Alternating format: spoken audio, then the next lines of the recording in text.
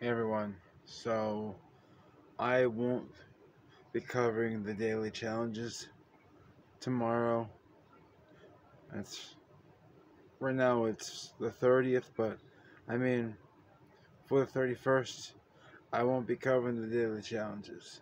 Let's be honest, that video did not do good. I don't know if it was the thumbnail itself, but I'm running out of thumbnail ideas. You can only do gold bars and horses for so long before it becomes stale. So if anyone has any ideas, let me know. But I need more sleep. I'm going to be covering Days Gone tomorrow, and I will start probably doing the daily challenges, you know, for the first. Alright? I do apologize if this was an inconvenience to you, and that's really all I have to say. So. I'm just not really feeling myself, but stay salty and peace. We out.